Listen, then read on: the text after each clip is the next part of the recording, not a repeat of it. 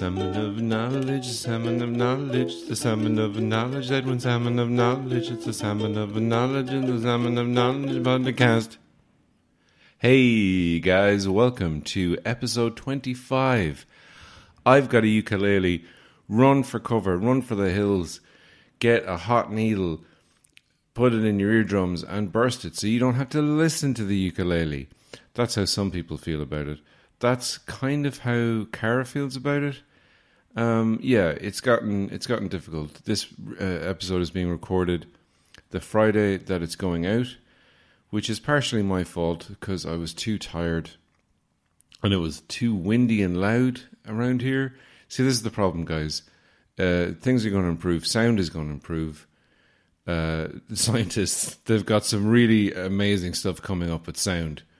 Um, surround sound because you know the way you've always wanted sound to be like just behind you, like a murderer. Um, so the the hairs in the back of your neck can rise up, and you can go, "Oh my god, is sound behind me? Have I been surrounded by it? I give up. I give in." Sound. Um, no, it's just because. Oh, so there's the ukulele. It's just because. Um, I can't um, record in the studios that I normally record in. They're not open to the end of June. I'm sharing an office space uh, here with uh, with Cara, whom I'm beginning to suspect could be a witch. I don't know. I think there's been clues there the whole time, but uh, she's gone off for a, a, spin on her broom, and uh, yeah, we've we've we've been sharing it. I've been moving my my stuff in uh, all this week, which has been enjoyable. It's actually kind of been enjoyable. I know it's very stressful uh, to move, but I don't have a lot of stuff. So it was relatively easy, even though some of the stuff is kind of out and we're rearranging and arranging and re rearranging and pre arranging. And soon we'll be post arranging. We'll be post arranging our clothes, making love. I suppose when we're going to the shops, buying things together. Do we need a pizza cutter? Do we need a feather duster for the room? Do we need to dust our room? Ah, but I don't want to dust room cause I've got a lot of allergies. Allergies have me on my knees. I'm so allergic to allergies. Is that a tin of allergies? Don't open it. I'm allergic to everything inside that tin. Inside the tin of allergies. Oh, get it away from me, please. I don't wanna eat a lot of cheese, just a little cause of my allergies. So you go, there's a random song about allergies.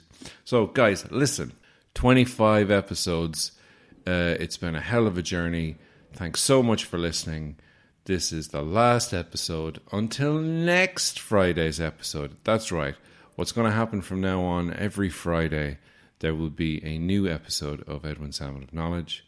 If you are a patron, you'll get this sooner, not this week because of my incompetence, but uh, you'll get it during the week, Tuesdays or Wednesdays, depending on how much there is to edit, depending on how many ads there is. And uh, you will receive extra stuff, which will be recording at this weekend. So uh, I have my first deep dive into movies lined up, which is going to be all about Le Planète de Singe. So that's a little clue for you. Uh, that's French. I'm not going to translate it for you. Find a French friend. Find a f- and French to English dictionary. Uh, tout suite, and then look up what all of those words mean.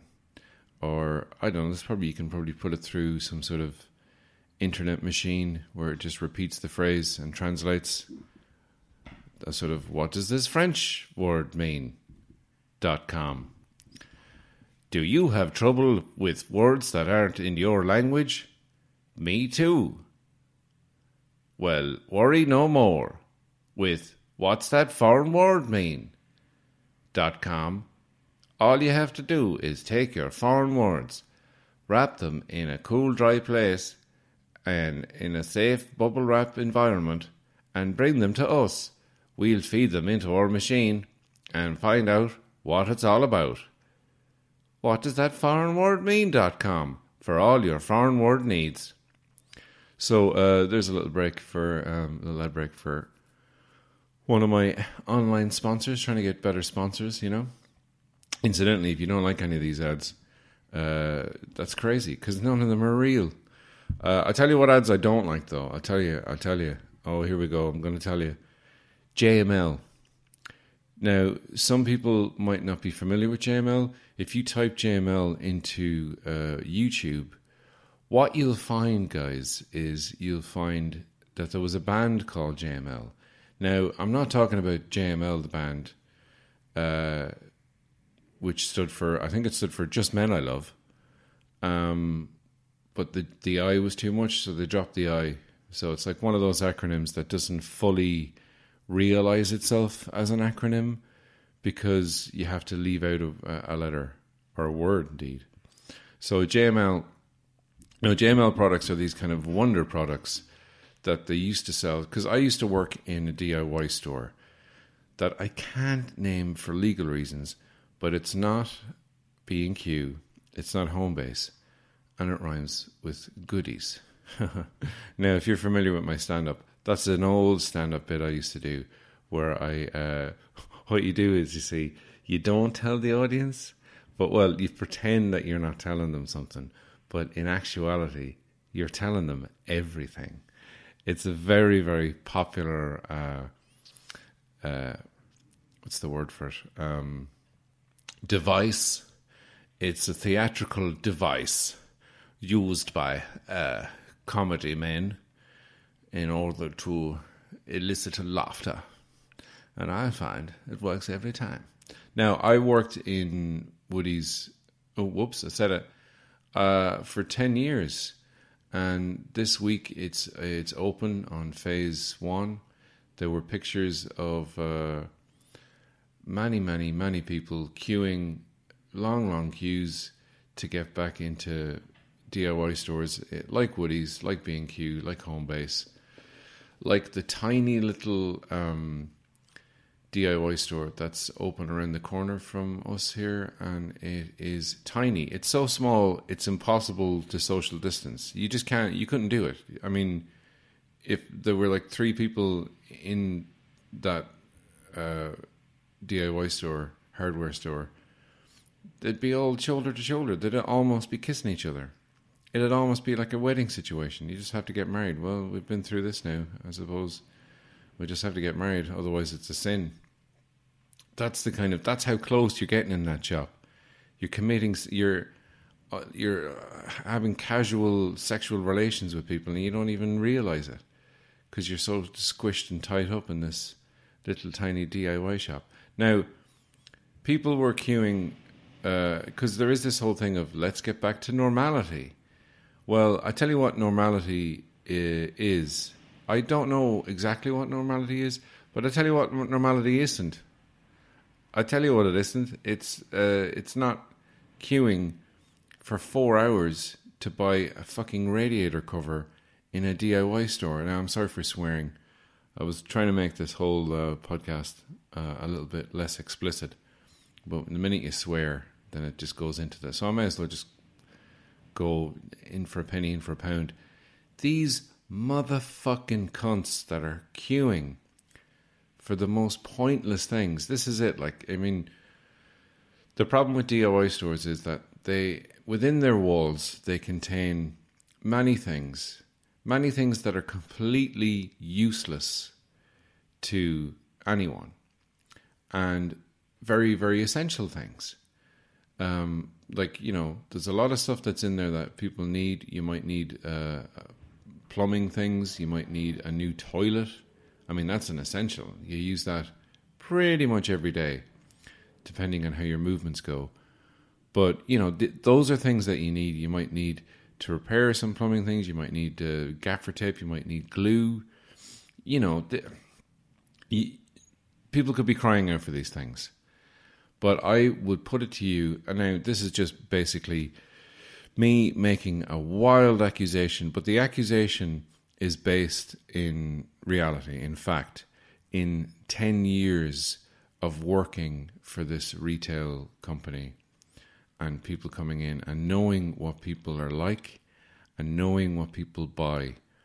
Uh, 90% of people queuing for hours are going in for something pointless that they really don't need, that they could wait another month or two until things kind of calm down. Look, I'll be honest with you, I want to go into Woodie's, I want to get some things, but um, they're not essential. I'm not going to die if I don't get a radiator cover. See, that's the thing. I I really, really can't understand, especially things like radiator covers. They're they're look. I understand why people buy them. They're decorative, but I don't understand the thought process that that that leads to it. Um, people sitting in their homes, they've got nothing to do, and they're looking at radiators, going, "That fucking radiator's staring at me. I fucking hate it. I want to encase it in a prison of MDF wood." And I say, "Cara, listen, it's fine. It's just a radiator. You don't have to cover it over. It's not like." Disgusting. It's not, you know, it's relax, woman, relax. But she couldn't relax. But they have, I mean, now that's not a JML thing. JML have weird things like, uh, well, look, here's a JML ad. We're going to take an ad break, but here's an here's an example of a JML ad. Introducing Shower Feet from JML, the ultimate way to clean and care for beautiful feet.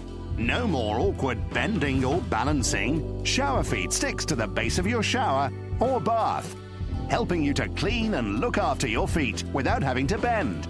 With over 1,000 deep cleansing bristles, you can gently clean, massage, and exfoliate dry, callous skin for gorgeous looking feet you'll be proud of. Shower Feet also has a built in pumice stone to remove rough and cracked heels leaving your feet feeling soft, smooth, and revitalized from heel to toe. You can even pour your favorite bath or shower gel into the cleverly designed micro holes for an invigorating foot spa experience. Sit back and relax and enjoy a blissful foot massage that will leave your feet feeling soft and smooth. No more awkward bending or balancing. Shower Feet attaches to any shower or bath and is ideal to use after sports or working out. The deep cleansing bristles can help eliminate foot odor and prevent athlete's foot by getting in between your toes and scrubbing all those hard to reach areas. Shower Feet is designed to fit any shape or size foot, so it's ideal for the whole family to enjoy. It's time to step out in style with Shower Feet from JML.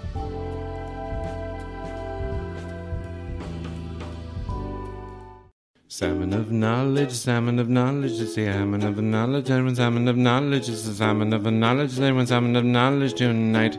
Dun, dun, dun, dun, dun, dun. And we're back, guys. Uh, listen, the, the shower buddy, the foot buddy, or whatever the fuck it was called, that JML thing, it sounds disgusting. If you're into feet, it's the sort of thing that Quentin Tarantino would buy um, for himself, and he'd buy for several of his friends and he'd ask for videos of them using it just to prove that they're using it and nothing to do with him getting off on feet. Um, but re- like really, there's you got to look up that ad. Uh, there's a lot of um, if you're into feet, a lot of foot shots.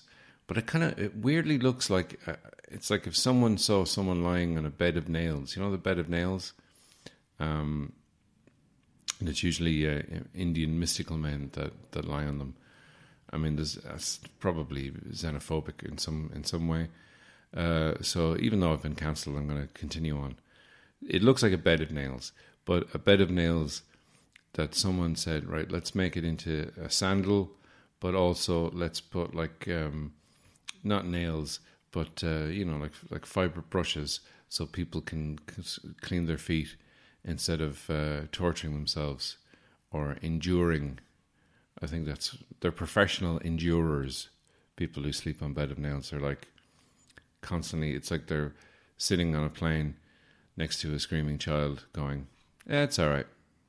I'm an endurer. This is what I do. This is all I do."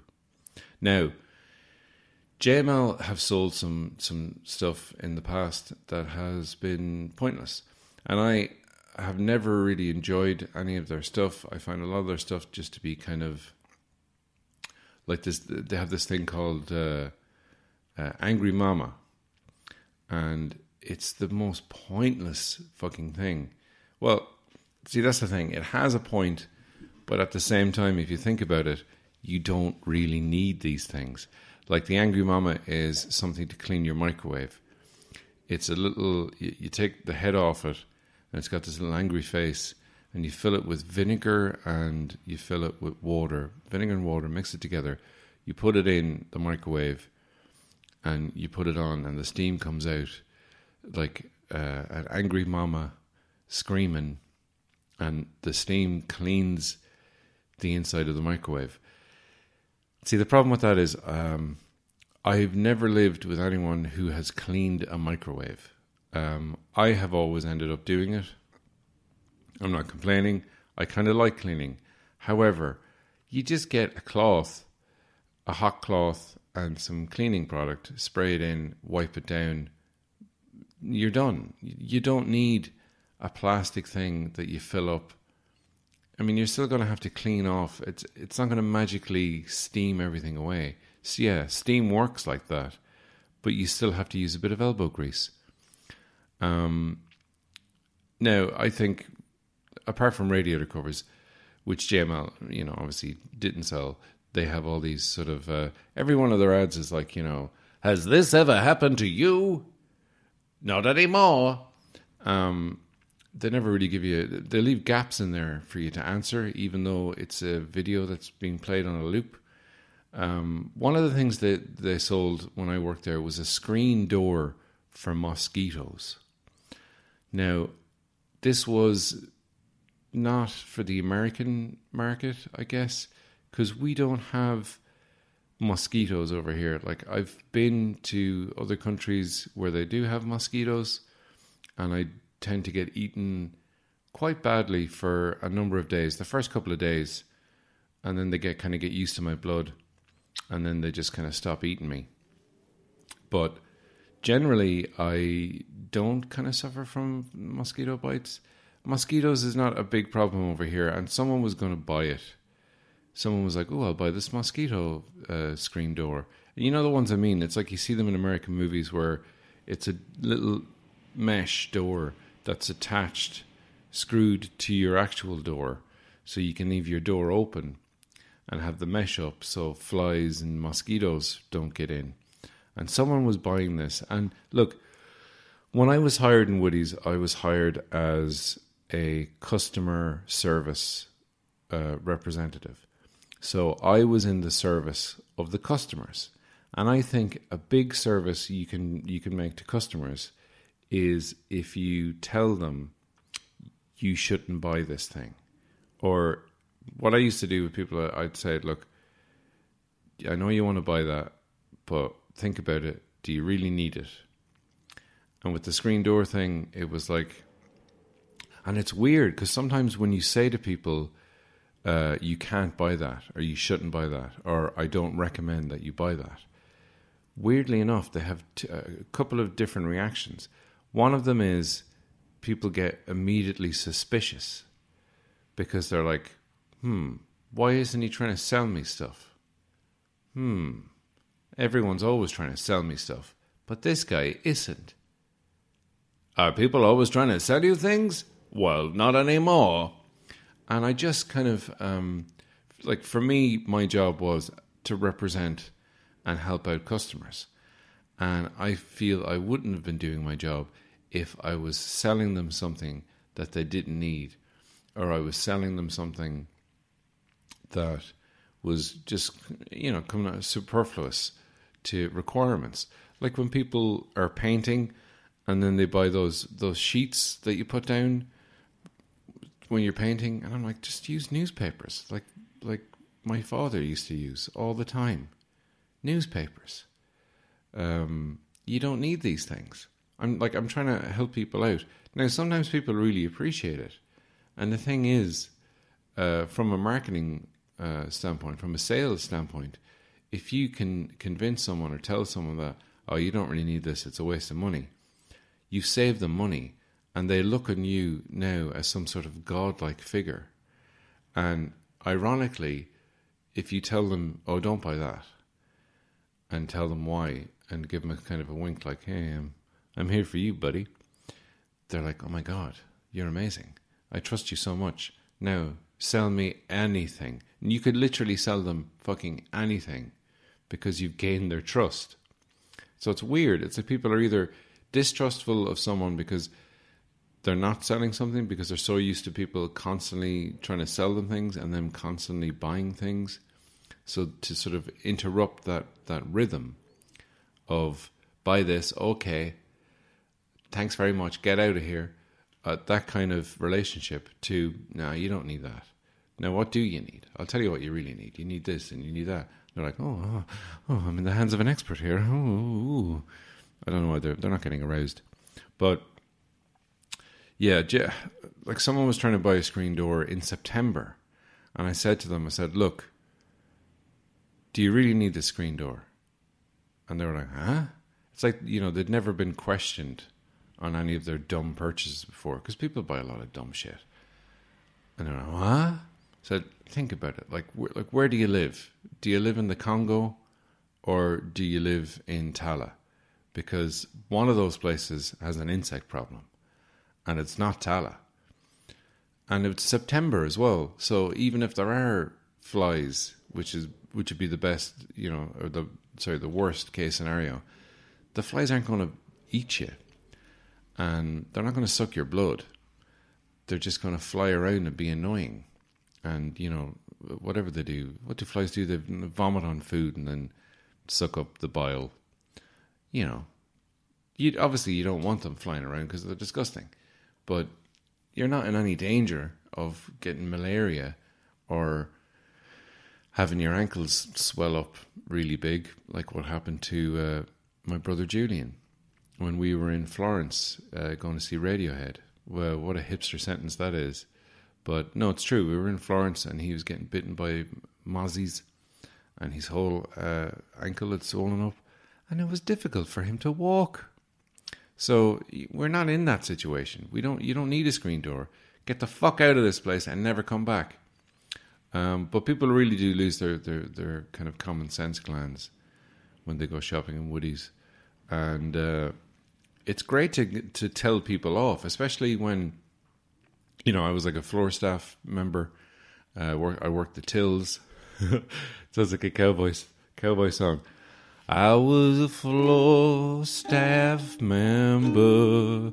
I worked the tills in December. There was so many people buying baubles you wouldn't believe. Actually, I was Santa Claus uh, in December in Woodie's, and I used to walk around the, the store dressed as Santa Claus with a big sack, heavily laden sack full of uh, treats for the children. Um, what's that? I've been cancelled again? Okay. Um, but uh, yeah, I'd, wa- I'd walk around as Santa Claus in character. Like you know, I'm I'm a pure method actor. I was in character the whole time. The phones would ring and I'd answer as Santa Claus. I'd go, "Hello, Woodie's DIY Glass Glasnevin. How may I direct your call?" Um, and people would hang up in disgust. But yeah, I used to, and and occasionally you get kids. Like there was one kid kept coming up to me, this non-believer, who was questioning why Santa Claus, immortal, morbidly obese uh, gift giver man, non profit, why he would be in Woodie's DIY in Glasnevin in Dublin uh, a week before Christmas. Like, surely the kid was like, surely he'd have better things to be doing. Surely he'd be busy. He'd be up to his eyeballs right now. Hmm. I guess it's true. Because he kept coming up to me, trying to, you know, catch me out. But the very fact that I was like, you know, in Woodie's DIY in Dublin a week before Christmas Day, or Christmas Eve, really, uh, which is his, his busy time. Christmas Day, he's just putting his feet up, eating eating a lot of food, judging by his weight, and doing very little exercise. You know, he's he's lucky he's immortal. Otherwise, he'd be uh, in, in constant uh, constant health issues and pain. So um, there's something for the kids to think about. So um, this kid would come up and he'd be like trying to catch me out. Like I'm in a fucking DIY store in Dublin, you idiot. But he'd be coming up going, "Excuse me, Mister Cloud." But yes, son. Yes, son. And he'd say, "Where are the reindeer?" And I'd say, I'd have to answer really quick. I'd say, well, the reindeer are obviously resting in the stables because it's not Christmas Eve yet. They're resting up for their big journey where I go to every child's room and house in one single night because that's possible because magic. And he'd like stare at me for a second and then go, mm, okay. And sort of walk off uh, partially satisfied.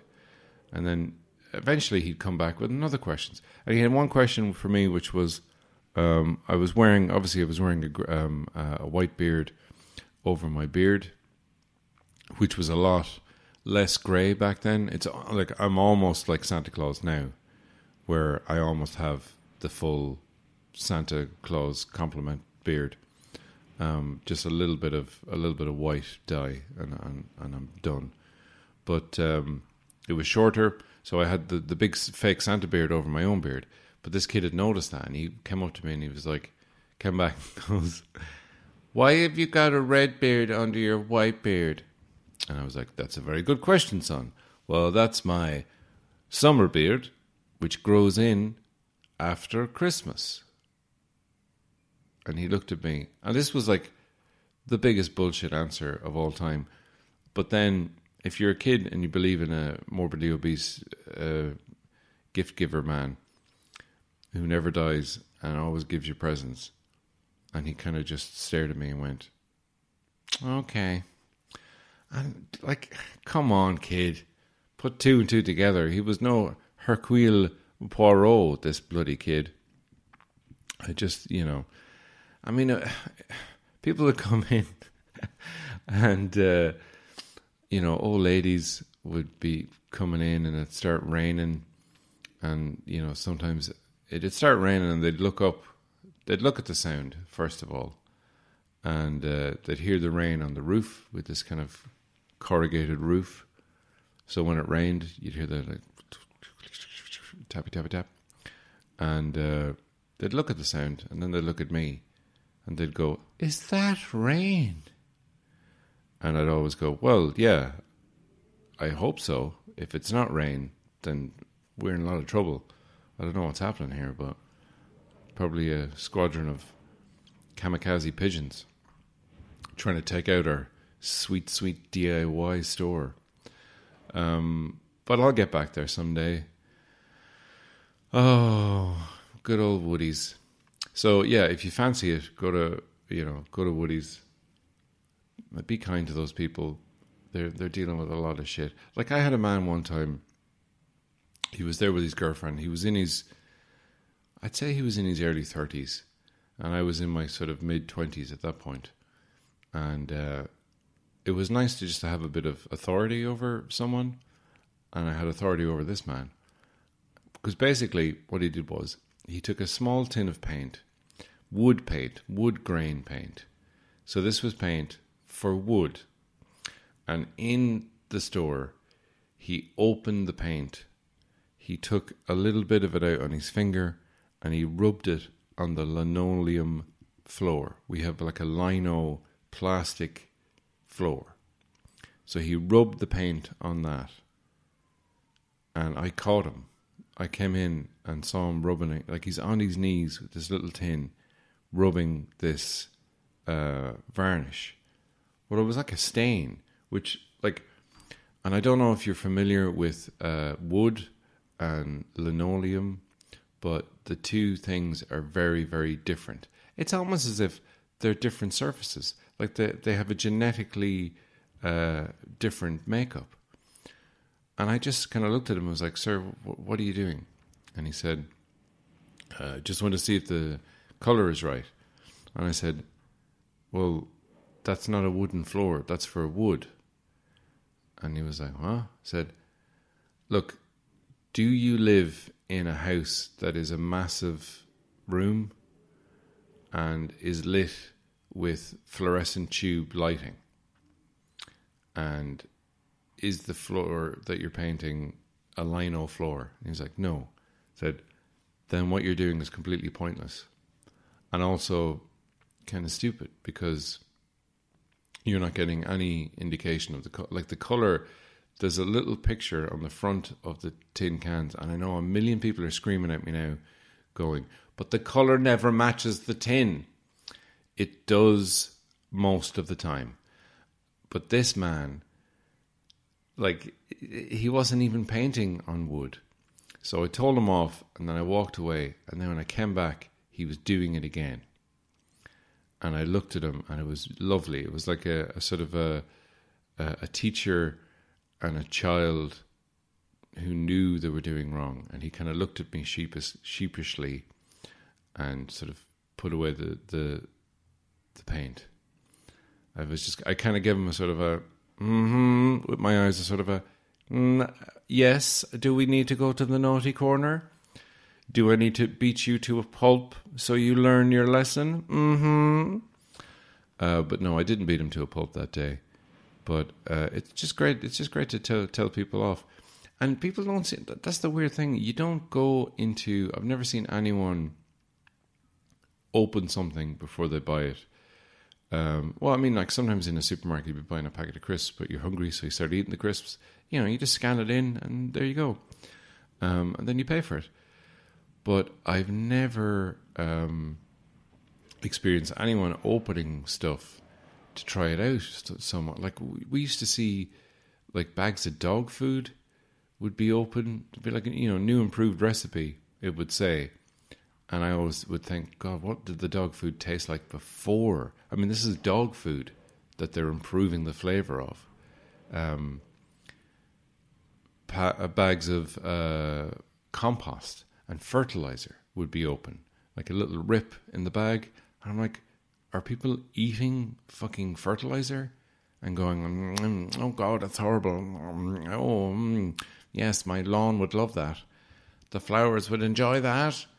I just don't. I don't understand it. It's like, you, you know, you wouldn't go to a supermarket and open a bowl of cornflakes or a, a box of cornflakes and pour some milk in there uh, just to see how the milk and the cornflakes go together. You wouldn't do it. Maybe that's a bad analogy. I don't know.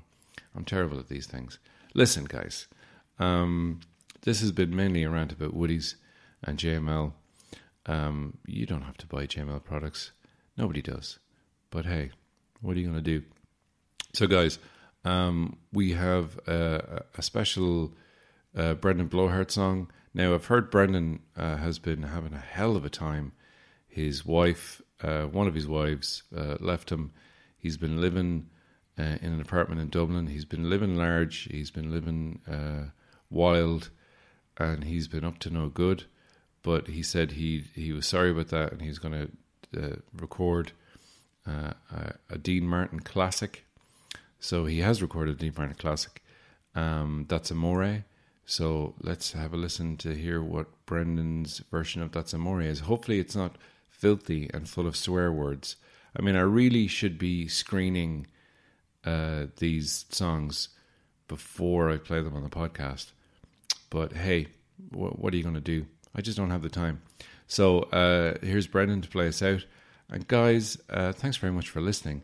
If you want to get extra content, go to Edwin Salmon of Knowledge on Patreon and become a patron.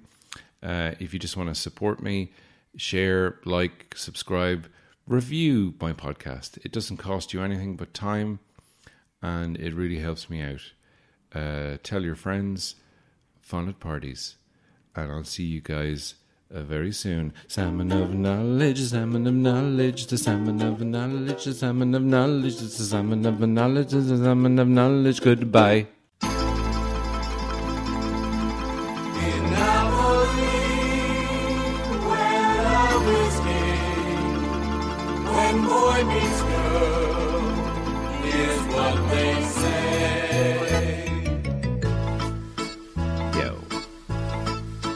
When the moon hits your eye like a big pizza pie, that's assault. When the world seems to shine like you've had too much wine, that's amphetamines. Bells will ring, ting-a-ling-a-ling, ting-a-ling-a-ling, and you'll say, I'm high now. Hearts will play, tippy-tippy-tay, tippy-tippy-tay, that you've had half a pill. When the stairs make you drool just like a pasta food, that's amphetamines. When you dance down the street with the cloud at your feet, you're coming up. When you walk in a dream, but you know you're not dreaming, Signore. Excuse me, but you see, back in old Napoli, that's a mushrooms. When the moon hits your eye like a big pizza pie, that's amphetamines. When the world seems to shine like you've had too much wine, that's a cocaine. Little bit, little bit of me, but bit Molly. Rub it on your gums, rub it on your gums, rub it on your gums, or just put it up your bums.